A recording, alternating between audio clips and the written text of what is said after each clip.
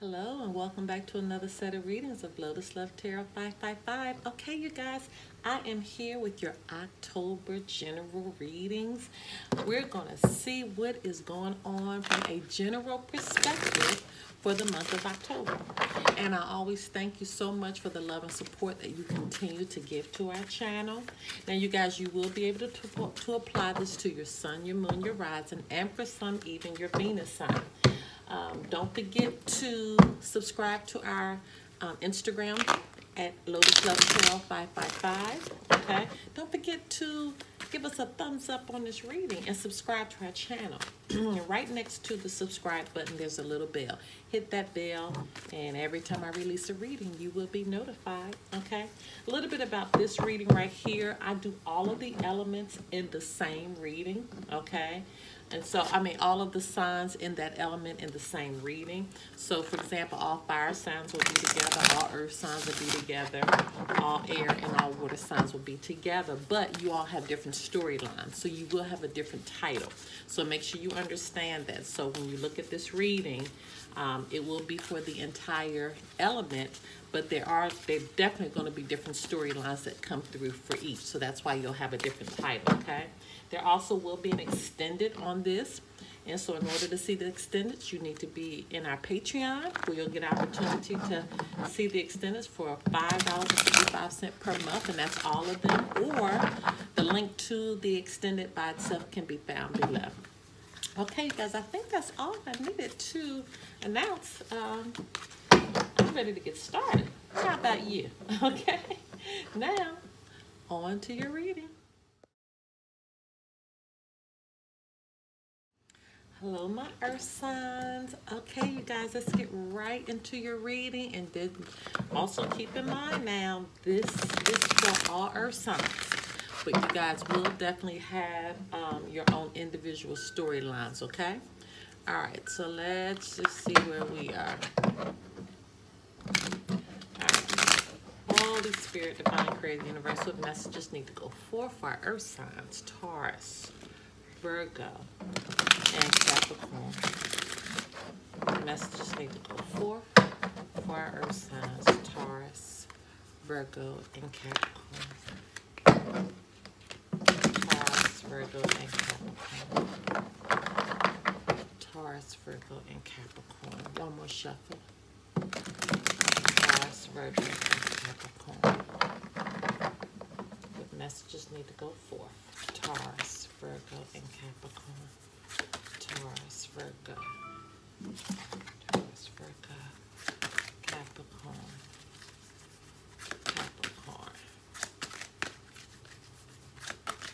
Ooh. Capricorn, there it is. Okay, Capricorn actually has two. Okay. Alright. Okay, Holy Spirit, Divine Creator, Universal Messages to the for Taurus, Virgo, and Capricorn. Taurus, Virgo, and Capricorn. Taurus, Virgo, and Capricorn. What messages need to go forth? Taurus, Virgo, and Capricorn. Taurus, Virgo, okay, Virgo. Taurus and Capricorn. Taurus, Capricorn. Capricorn, okay. Capricorn, you got a lot of messages. All right, so let's, uh, no, this one goes that way. Okay. All right, so now we are ready to see. Let's look at Taurus first. Taurus, recognition and reward. Wow. All right, so you're going to be recognized for something. You're going to be rewarded for something, which is going to bring about a transformation for you. Oh my goodness. Wow recognition and reward, which is going to bring about a transformation, a change um, is going to be happening for you. Okay? Some type of change, but it's a very good change, which is going to kind of take you on another level. It's going to put you, it's going to distinguish you between the rest. You're going to be rewarded for things that for seeds that you have planted while a long time ago. Okay, this transformation, I feel like you've been doing it for a very, very long time. And I'm looking at this rose behind here, and I'm a Taurus, and I've been actually putting fresh flowers in my my home and, and roses. And I've, I've been having an infatuation for um, just nature, period. And that butterfly, you know, of course, it represents transformation. But I'm also looking at here with the stance that this person is taking, is bowing. That means that you, you've been humble in this transformation. You haven't been boisterous. You haven't been throwing it in people's faces and being obnoxious. But this change, this reward, this recognition, you're going to take an humble stance in it. It's like, I don't need to let everybody know. They're going to be able to see. I don't need to blast it out. They're going to be able to see and understand that I've changed and I've changed for the better to the point that many recognize who I am now. Love it. All right. Virgo, throat chakra. Okay, so the throat chakra we know deals with speaking, um, deals with things that you may need to say. It may need to be cleared. It may be blocked okay? And diligence. So be very careful in what you say. Um, be very careful and, you know, um, be very diligent, okay? And how you're speaking to people. Okay, this is this is so important. I mean, this is very important because when it comes to that throat chakra, um, again, this is dealing with, you know, mostly, you know, how you how you're speaking. You know, what are you saying? What what it might be blocked where you're not saying what you need to say, right? Um, it, it deals with, you know, either the words that you're saying or the words that you're not saying. And, and that's what you really need to hone in on. Um, it's about communication. It's about, you know, the ability to, you know, hear within your heart and your spirit and your spirit. Okay. So keep that in mind um, you got to kind of balance this energy out. Um, you might want to begin trying to, you know, hum or sing out loud um, to kind of clear your throat, okay? Um, it's important when you say things that you say say things with power and integrity and from a positive standpoint, okay? Um, uh, just just just make sure that that throat chakra is actually clear and you're being diligent in doing that, okay? Concentrate on what you're saying and what you're speaking or what you need to say or what you need to speak to somebody else. Okay, Capricorn, you have two. Wow, you have three sevens right here. Seven, seven, seven. Stand your ground and have patience. But make sure you look at that angel number 777 that's coming through uh, very clearly um, for you, okay? Um, 777, but you need to stand your ground in something and you need to have patience right now.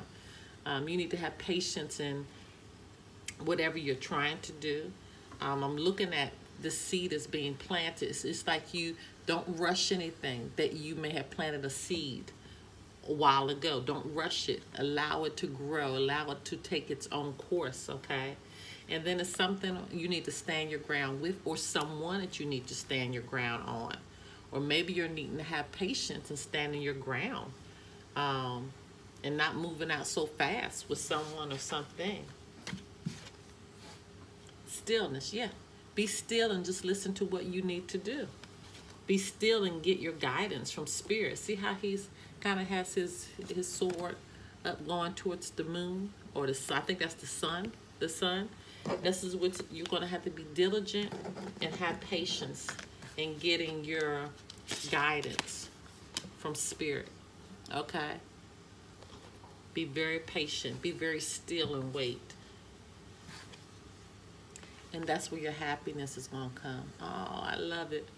Okay, but you have you have some things that you need to do in order to make this happen, Capricorn. You have some things that you need to do in order to be able to make this happen for you okay? You got to stand your ground. You got to be patient. You have to be still, and then happiness comes. All right, so let me put these cards here so I can kind of see where everybody is. Now let's get into what the message is for the earth sign. I saw the Eight of Cups. So somebody may have to move away for these things to be able to happen. Step back, possibly from bad relationships or people that may be holding you back. Just saw the justice in reverse.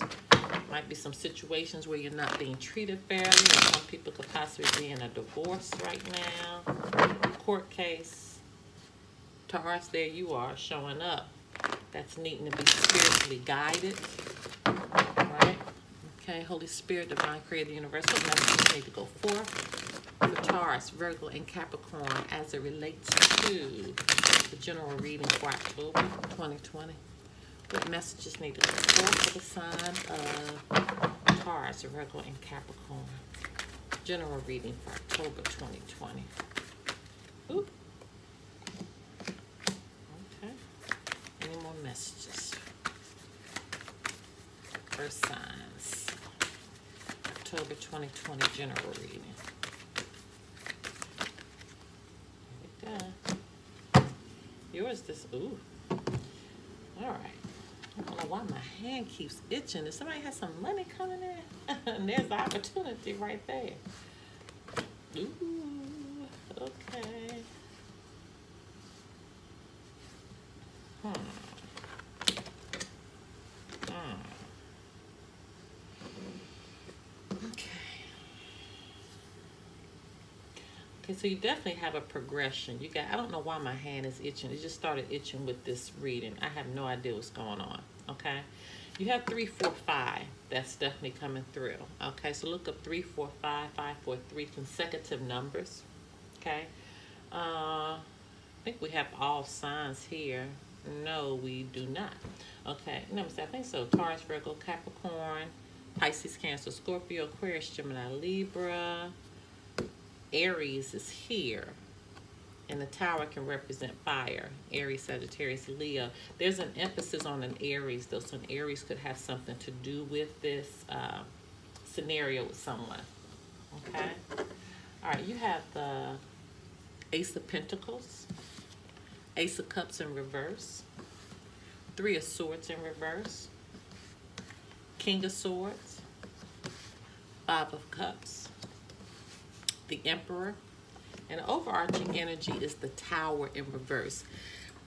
This is letting me know right from the start that there is a disaster that has been avoided, okay, or will be avoided. There's something that could have happened, um, but it's being avoided. Spirit is kind of protecting you in that, okay.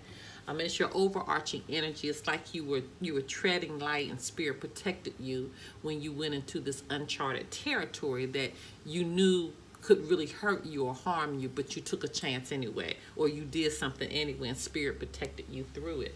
Okay, um, and kind of kept kept kept you at bay from whatever was happening around you. I feel like somebody may have been trying to do something to you okay? But it didn't affect you the way that they were hoping that it did. And that's that disaster that was avoided. Ace of Pentacles, this is an opportunity that's clearly coming your way. Okay, an opportunity is coming your way, but it's being coupled with the Ace of Cups in reverse. So this is you really needing to listen to your um, your intuition. This is could be emptiness. This could be uh, block creativity. This could be emotional loss. So you have an a, a, opportunity that is coming to you, but I feel like you're coming from a space of emptiness, um, um, a space where you had to lose something to get this opportunity right here. And then I know that makes sense because you got the Three of Swords in reverse, which is recovering from a broken heart. Okay, so this is this is recovery. So you are recovering from something that may have hurt you. Um, could be um, overindulgence, could be gossip, could be isolation. Um, but I, I do believe that with this Three of Swords in reverse, this is you uh, recovering from, like I said, you know, uh, people trying to isolate you, people trying to keep you out in the cold, and you're recovering from that. You're forgiving and you're moving on uh, with that Three of Cups, with this that could have caused you a broken heart. And I feel like, you know, more so that people, again, um, they were overindulging in your life. they were keeping leaving you out of situations or this could be just a romantic relationship where your heart was just clearly broken. Doesn't matter though. You're moving on. You're forgiving them and moving on. You're not even worrying about it anymore okay? Because you learn how to think with your head over your heart. You learn how to think strategically okay? When you began to come out of this brokenness this space of uh, heartbreak you began you thought with your head on how to get out of that okay? Even though from time to time you think about it grieves you it grieves your spirit um, about the things that, that has happened um, that what what has happened you look at the cups that are spilled but you do understand that you have two cups behind you and i know you understand it because like i said before you're in recovery mode and then you have the emperor after that which is letting me know that you're in control. This is you being in control this is you being the leader that you are okay? Uh, this is you understanding how important it is to stay in control of your life. This is you being a, a leader where people are looking up to you. Even though you're looking at the spilled cups here and what you lost, you realize that, you know, you have this control now. And this is what you really need to remember. It's like you need to just turn around and look at where you're going, not where you've come from. All right? We're going to go into our extended now. And if you guys want to meet me over there, the link to the extended um, can be found below. And we're definitely going to extend Taurus, Virgo, and Capricorn first. And then we're going to pick out a few cards in here to uh, just get some clarification on, especially with that Tower and that Three of Swords and that Five of Cups. Okay? All right, you guys, meet me on the other side. Bye-bye.